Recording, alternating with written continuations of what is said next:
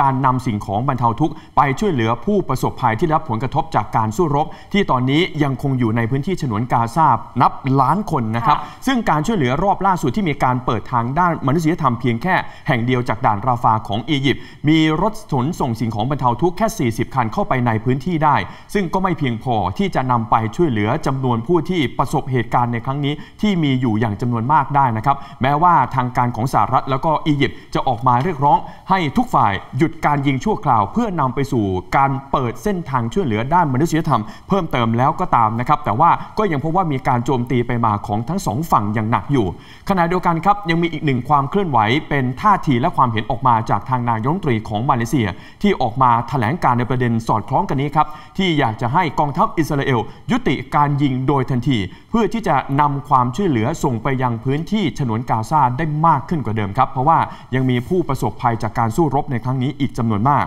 ซึ่งสถานการณ์ความขัดแย้งของทั้งอิสราเอลและฮามาสยังมีแนวโน้มรุนแรงมากขึ้น ทั้งภาคพื้นแล้วก็ทางอากาศ หลังจากทางผู้นำอิสราเอลประกาศเข้าสู่การสู้รบในระยะที่ 2 แล้ว เพราะฉะนั้นก็เลยมีท่าทีความเห็นออกมาจากผู้นำหลายประเทศ เกี่ยวกับสถานการณ์ความขัดแย้งที่เกิดขึ้น อย่างเช่น นายกรัฐมนตรีอันวาอิบราฮิม ผู้นำของมาเลเซีย ก็ออกมาแถลงโจมตีไปยังอิสราเอล ที่เปิดปฏิบัติการภาคพื้น จมตีฉนวนกาซาโดยเรียกร้องให้อิสราเอลหยุดยิงโดยทันที เพื่อที่จะเปิดทางด้านมนุษยธรรม โดยคำกล่าวของนายกรัฐมนตรีมาเลเซียในครั้งนี้เกิดขึ้นในระหว่างที่เดินทางไปเยือนที่สิงคโปร์และได้มีโอกาสหารือกับนายกรัฐมนตรีลีเซียนลุง ผู้นำนอกจากนั้นก็ยังได้มีโอกาสพบปะกับประธานธิบดี ทามัน ชันมูการัตนำประธานธิบดีของสิงคโปร์ด้วย ซึ่งถือว่าเป็นส่วนหนึ่งในระหว่างการประชุมผู้นำสิงคโปร์กับมาเลเซียครั้งที่ 10 เพื่อแสวงหาความร่วมมือระหว่างประเทศเพื่อนบ้าน โดยก่อนหน้านี้ย้อนกลับไปเมื่อวันที่ 24 ตุลาคม นายกรัฐมนตรีของมาเลเซียก็ได้มีโอกาสขึ้นเวทีปราศัย กล่าวแถลงสนับสนุน ชาวปาเลสไตน์นะครับ ซึ่งก็มีคนปาเลสไตน์และคนมุสลิม เข้าไปร่วมรับฟังการปราศัยจากผู้นำในครั้งนี้ไม่ต่ำกว่า 16,000 คน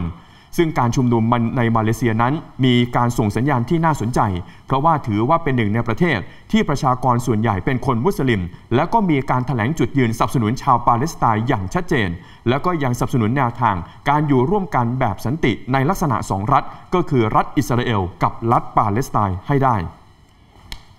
ส่วนทางด้านสหประชาชาติครับเลขาธิการสหประชาชาติ อันโตนิโอกูเตเรส ได้ออกมาย้ำเตือนว่า อยากจะให้ทุกฝ่าย หยุดยิง เพื่อที่จะเปิดช่องทางด้านมนุษยธรรมโดยทันที และเรียกร้องให้มีการปล่อยตัวประกันทั้งหมดแบบไม่มีเงื่อนไข แล้วก็เปิดช่องทางให้สามารถจัดส่งสิ่งของบรรเทาทุกข์เข้าไปในปริมาณที่เพียงพอต่อความต้องการของประชาชน ที่ยังคงปักหลักและอาศัยอยู่ในเขตฉนวนกาซาและเป็นผู้ที่ได้รับผลกระทบไม่น้อยกว่า 2 ล้านคน อย่างล่าสุดวันนี้มีขบวนรถบรรเทาทุกข์จำนวน 40 คัน ที่ทยอยเข้าไปในเขตกาซาเพิ่มเติม หลังจากก่อนหน้านี้มีการส่งความช่วยเหลือไปแล้ว ประมาณ 118 คัน ซึ่งทางสหประชาชาติได้ออกมาเตือนรอบล่าสุดว่า มีแนวโน้มจะเกิดความวุ่นวายรอบใหญ่ตามมา ในพื้นที่เขตกาซาเนื่องจากว่าพลเรือนในพื้นที่นี้ เริ่มอยู่ในภาวะสิ้นหวัง แล้วก็อดอยากยากลำบากกันมากขึ้น หลังจากได้รับผลกระทบจากการสู้รบรอบล่าสุดมานาน 3 สัปดาห์แล้ว จนกระทั่งเกิดเหตุการณ์ที่มีคนปาเลสไตน์หลายพันคน ตัดสินใจบุกเข้าไปหยิบอาหารและสิ่งของจำเป็นต่างๆ จากกระดังกระจายสิ่งของบรรเทาทุกข์ในช่วงที่ผ่านมาทำให้สถานการณ์ในช่วงเวลานี้ค่อนข้างจะวิกฤต ไม่รวมกับที่ประชาชนจำนวนไม่น้อย ต้องดื่มน้ำทะเล และต้องอาบน้ำกับซักผ้าในทะเล เพราะว่าไม่มีน้ำดื่มน้ำใช้ และต้องหันมาใช้ลาเป็นพาหนะในการเดินทางแทน เพราะว่าตอนนี้ในพื้นที่ไม่มีเชื้อเพลิงที่จะเติมรถยนต์แล้วนะครับ นี่คือความยากลำบากสำหรับการใช้ชีวิตของคนที่อยู่ในกาซานับล้านคนขณะที่ล่าสุดมีประเด็นข้อเรียกร้องออกมาจากทางด้านกลุ่มฮามาสที่เสนอให้อิสราเอล ส่งเชื้อเพลิงเข้าไปในเขตฉนวนกาซาเพื่อแลกกับการปล่อยตัวประกันทั้งหมด แต่ว่าอิสราเอลยังคงปฏิเสธเงื่อนไขในเรื่องนี้ ซึ่งการเจรจาระหว่างตัวแทนอิสราเอลกับฮามาสในเรื่องของการปล่อยตัวประกันในกาซาล่าสุดก็มีประเทศกาตาเข้ามาเป็นคนกลาง ในการช่วยประสานไกล่เกลี่ย ให้หาข้อยุติลงให้ได้ ซึ่งทางด้านฮามาสเองนะครับได้ยื่นข้อเรียกร้องไปยังอิสราเอลว่าให้หยุดยิงก่อน เป็นเวลาอย่างน้อยๆ5วัน เพื่อที่จะใช้สำหรับการเปิดทางให้จัดส่งสิ่งของบรรเทาทุกข์เข้าสู่เขตกาซาให้ได้มากขึ้น แต่สิ่งสำคัญการส่งสิ่งของเข้าไปในพื้นที่นี้จะต้องมีเชื้อเพลิงรวมอยู่ด้วย เพื่อแลกกับการปล่อยตัวประกัน 230 คน ซึ่งในจำนวนนี้นะครับเป็นชาวต่างชาติจากทั้งหมด 25 ประเทศ และหนึ่งในนั้นก็รวมคนไทยอยู่ด้วย โดยทางฮามาสได้ร้องขอเชื้อเพลิงจากอิสราเอล เพื่อแลกกับตัวประกันมาตั้งแต่เมื่อสัปดาห์ก่อน แต่ประเด็นนี้รัฐบาลอิสราเอลก็ได้ปฏิเสธมาโดยตลอด จนกระทั่งการเจรจาต้องหยุดชะงักไป หลังจากที่กองทัพอิสราเอลประกาศยกระดับการปฏิบัติการภาคพื้นดินในเขตกาซามากขึ้น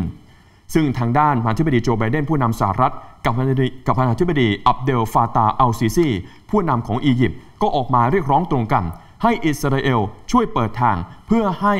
รถที่ขนส่งสิ่งของบรรเทาทุกข์สามารถเข้าสู่พื้นที่กาซาได้มากขึ้น จนส่งผลทำให้เมื่อวานครับอิสราเอลจึงตัดสินใจยอมปล่อยให้รถบรรทุกขนสิ่งของบรรเทาทุกข์ช่วยเหลืออีก 40 คัน เข้าสู่เขตกาซาได้มากขึ้น ซึ่งถือว่าเป็นจำนวนที่มากที่สุด นับตั้งแต่ที่มีการผ่อนคลาย เปิดเส้นทางด้านมนุษยธรรม แต่ความช่วยเหลือรอบล่าสุด ก็ยังไม่มีเชื้อเพลิงรวมอยู่ด้วยครับมีเพียงแค่น้ำดื่ม อาหารและเครื่องเวชภัณฑ์บางส่วนเท่านั้นเอง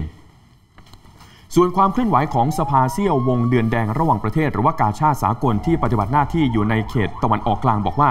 อิสราเอลได้แถลงเตือน ให้โรงพยาบาลอัลคุดในเขตฉนวนกาซาซึ่งเป็นอีกหนึ่งโรงพยาบาลในพื้นที่ ตอนนี้ต้องเร่งอพยพผู้ป่วยออกจากโรงพยาบาลโดยเร็ว เพราะถือว่าอยู่ใน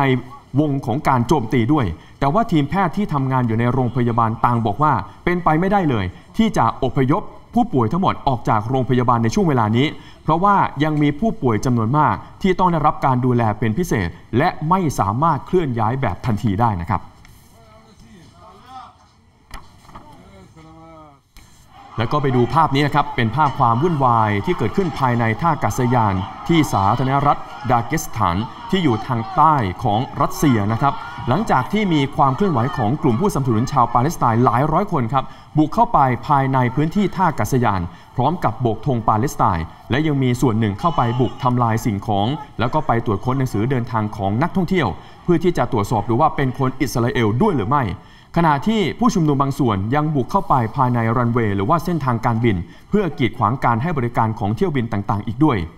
เหตุการณ์นี้เกิดขึ้นในช่วงเวลาก่อนที่เที่ยวบินจากกรุงเทลอาวิฟของอิสราเอลจะเดินทางมาถึงสถานที่แห่งนี้ เพราะฉะนั้นเลยส่งผลทำให้เจ้าหน้าที่ต้องประกาศปิดให้บริการพื้นที่ท่าอากาศยานชั่วคราว แล้วก็ย้ายเที่ยวบินต่างๆ ที่จะมาลงที่นี่ไปลงที่อื่นชั่วคราวแทนเพื่อความปลอดภัย จนล่าสุดได้รับการยืนยันว่าเจ้าหน้าที่สามารถควบคุมสถานการณ์ได้แล้ว แต่ก็คาดว่าผลกระทบที่ตามมาท่าอากาศยานแห่งนี้จะปิดให้บริการไปจนถึงวันที่ 6 พฤศจิกายน และล่าสุด ทางผู้นำสาธารณรัฐดาเกสถาน ซึ่งเกี่ยวข้องกับทางด้านรัสเซียด้วยนะครับ ก็จะเข้าไปตรวจสอบความเสียหายภายในพื้นที่ ซึ่งล่าสุดที่มีการรายงานก็คือ มีหลายจุดที่ได้รับผลกระทบ ไม่ว่าจะเป็นรั้วกั้นรันเวย์ที่ได้รับความเสียหายอย่างหนัก หลังจากที่มีผู้ชุมนุมจำนวนไม่น้อยปีนเข้าไป แล้วก็สร้างความเสียหายในพื้นที่ท่าอากาศยาน ขณะที่ทางการอิสราเอลก็ได้ออกแถลงการหลังจากเกิดเหตุขึ้นในทันที เรียกร้องให้เจ้าหน้าที่ของรัสเซีย ช่วยรับประกันความปลอดภัย ให้กับคนอิสราเอลทุกคนที่เดินทางเข้าไปในรัสเซียในช่วงเวลานี้ด้วย ไม่เพียงแต่เท่านั้นครับ วันนี้ยังมีความเคลื่อนไหวอีกที่หนึ่ง ที่กรุงโตลันโตของแคนาดา มีผู้ชุมนุมหลายร้อยคนไปเดินขบวน เรียกร้องให้กองทัพอิสราเอลหยุดยิงในเขตฉนวนกาซาและยังมีการไปรวมตัวกันแถวๆหน้าสถานกงสุลของสหรัฐประจำแคนาดา เพื่อเป็นการแสดงออกในเชิงสัญลักษณ์ เรียกร้องให้ทั้งสหรัฐและแคนาดา ยุติการสนับสนุนกองทัพอิสราเอล และก็ควรที่จะทยอยส่งความช่วยเหลือด้านมนุษยธรรม เข้าไปในเขตฉนวนกาซาเพิ่มเติม ส่วนอีกหนึ่งที่ครับก็คือที่อังกฤษก็คือที่หน้าสถานทูตกาตาร์ประจำกรุงลอนดอนก็มีผู้ชุมนุมชาวอิสราเอลออกมารวมตัวกัน เรียกร้องให้กลุ่มติดอาวุธ ปล่อยตัวประกันทั้งหมด ซึ่งหลายคนได้นำภาพของตัวประกันที่ถูกจับไป แล้วก็รายชื่อของตัวประกันที่ถูกกลุ่มฮามาสควบคุมตัวอยู่นับตั้งแต่เกิดเหตุ เมื่อวันที่ 7 ตุลาคมมาจัดแสดงด้วย